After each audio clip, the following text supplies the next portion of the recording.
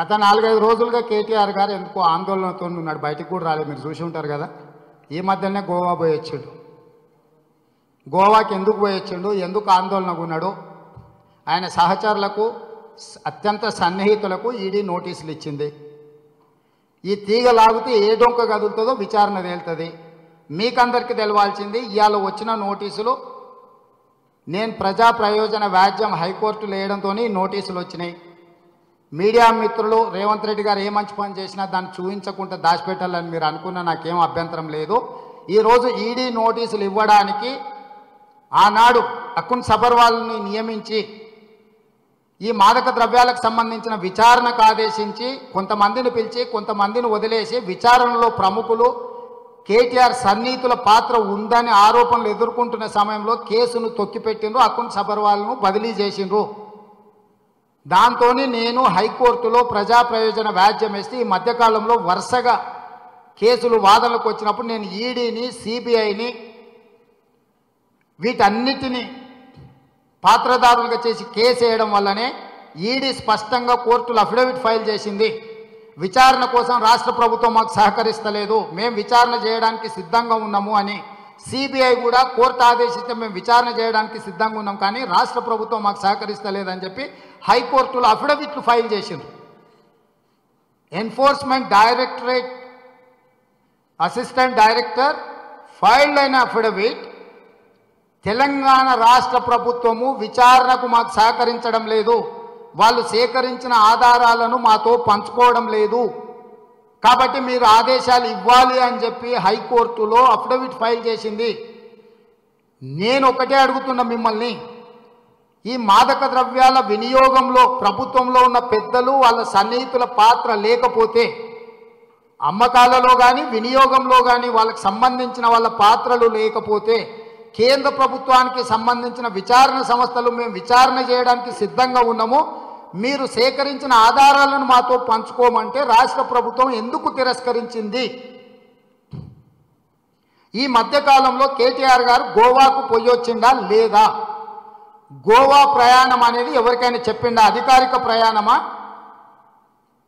Private ప్రయాణమా?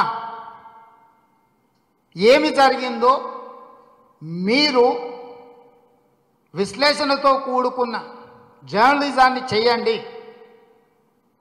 మీరు ఆధారాలు బయటికి తీయండి ఏం జరిగింది ఏమి జరుగుతుంది రాష్ట్రంలో? అసలు మన పిల్లల యొక్క భవిష్యత్తును ఏ రకంగా సర్వనాశనం చేస్తుండ్రో వీళ్ళందరూ కలిసి దీని మీద మీరు ఆలోచన చేసి మీరే నిర్ణయం తీసుకోండి. హైకోర్టులో ఉన్న కేసును ఒకసారి మీరు పరిశీలించండి. ఎందుకు ప్రభుత్వము మేము సహకరించము? కేంద్ర ప్రభుత్వ ఆధీనంలో ఉన్న విచారణ సంస్థలకు మేము ఎలాంటి వివరాలు ఇవ్వమని ఎందుకు మొండిగా వ్యవహరిస్తుంది రాష్ట్ర ప్రభుత్వము. ఎందుకు గతంలో ఏది జరిగినా మా తెలంగాణ రాష్ట్రంలో మేము ఊరుకునే సమస్యనే లేదని ముందుకు ముందుకు వచ్చి మాట్లాడిన వాళ్ళు ఈరోజు టీఆర్ఎస్ పార్టీని తెలంగాణ ప్రభుత్వాన్ని ఈడీ నోటీసులు ఏదైతే ఇచ్చిందో ఈ డ్రగ్స్కు సంబంధించి దీని పట్ల ప్రభుత్వ వైఖరి ఏందో ప్రజలకు చెప్పాలి ఇప్పుడు నేను ఒక మాట చెప్తా. నేను గెలిచిందే మల్లారెడ్డి మీద. ఓడిపోయినోడు ఏం మాట్లాడతాడు? నేను మన రెండు వేల పంతొమ్మిది పార్లమెంట్ ఎన్నికలలో గెలిచిందే మల్లారెడ్డి మీద కదా మల్లారెడ్డి అల్లుని మీద కదా. సెమీఫైనల్స్ మల్లారెడ్డి మీద గెలిచిన. ఫైనల్స్ ఇంకా మిగిలింది కేసీఆర్తోనే. నేను కేసీఆర్కు సవాల్ విస్తున్నా రాష్ట్ర ప్రభుత్వాన్ని రద్దు చేసి ముందస్తు ఎన్నికలకు వస్తావా? మేము సవాళ్ళు స్వీకరించడానికి సిద్ధంగా ఉన్నాం. ఒకవేళ నీ కొడుకేమన్నా నిన్ను కర్రుగాల్చి వార్తలు పెడతాడని భయం ఉంటే గజ్వేల్లో నువ్వు రాజీనామా చేయి అక్కడ మన ఇద్దరం తెలుసుకుందాం ఈ సన్నాసులను ఈ సోయిలేనోళ్ళను నీ మోచేతి నీళ్ళు తాగేటోళ్ళను నీ చెప్పుల కాడ కాపలా ఉండే కుక్కల్ని ఉసిగొల్పకు. చేతనైతే రా చూసుకుందాం. చంద్రబాబు నాయుడు దగ్గర చెప్పులు మోసి బతికింది ఎంగిల్ మెతుకులు తిని బతికిందే కేసీఆర్ కేటీఆర్. చంద్రబాబు నాయుడు అనేటో లేకపోతే చంద్రశేఖరరావు ఎక్కడున్నాడు? కొడుకు ఎక్కడి నుంచి ఆయన పేరు ఎక్కడి నుంచి తెచ్చుకున్నాడు? అంతకుముందే నేను చెప్పిన. నువ్వు ఆ తారక రామారావు పేరు మార్చుకోవా? నీ ఇష్టం ఉంటే ఒకవేళ రకులరావు పెట్టుకో అని కూడా చెప్పిన కదా గతంలోనే. నీ పేరే ఉద్దర పేరు.